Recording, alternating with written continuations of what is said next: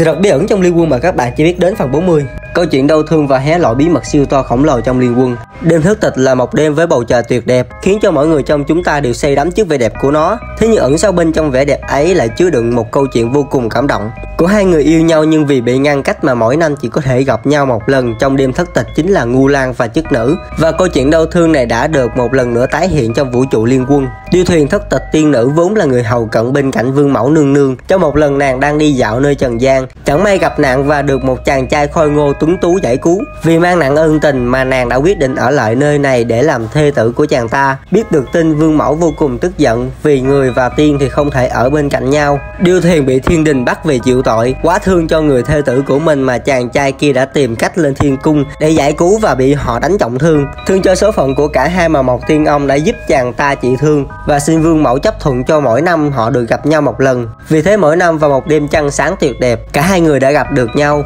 Và tình yêu chung thủy của họ luôn trường tồn vĩnh cửu trong mắt của cả người và thần. Ngày hội liên quân 15 đến 31 tháng 7 Bạn